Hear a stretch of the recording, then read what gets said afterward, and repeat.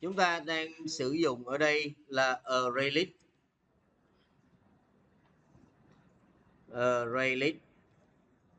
Một cái biến chúng ta sẽ có là tương tự như lúc nãy. Mảng một đi, để cho mình có một cái sự linh động. Bằng new array list.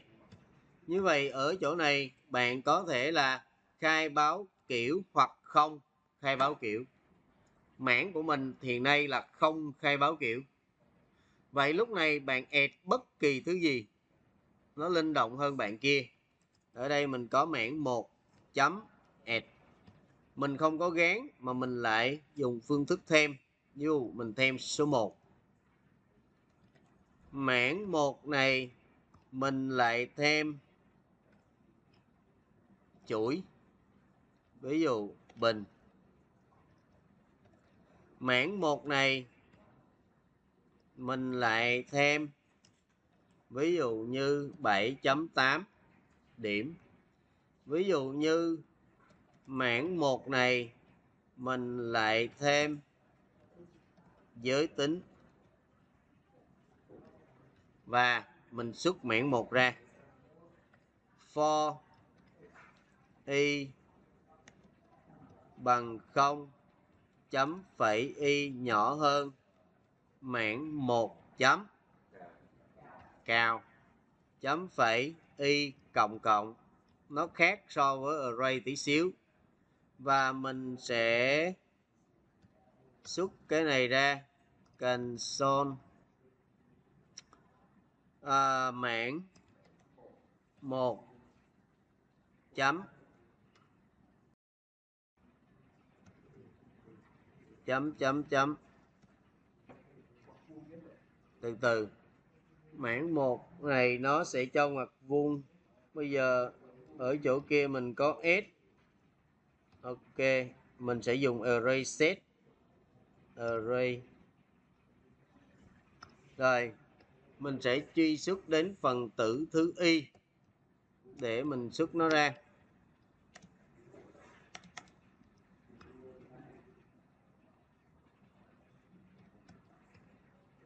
Như vậy, mình đã xuất thành công cái mạng của mình.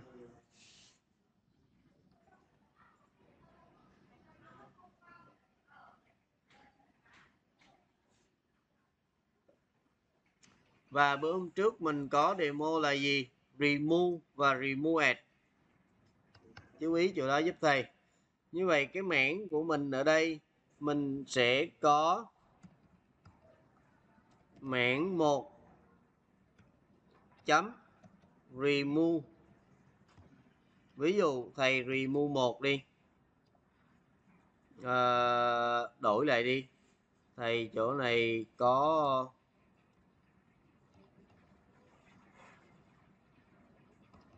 chỗ này là hai đi. Thầy remove hai. Và thầy xuất lại một lần nữa.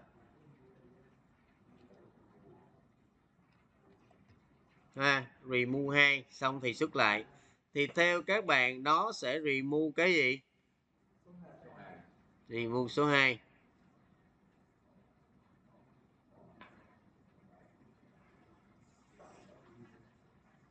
không một hai, nó bị trùng, mất tiêu rồi. Trùng, hả? Chỗ này số 3 đúng không? Hợp lý hơn. Ok. Nếu như là chỗ này mình remove 3 thì nó biến số 3 nhưng mình remove edge thì nó sẽ xóa cái gì? Xóa chữ trường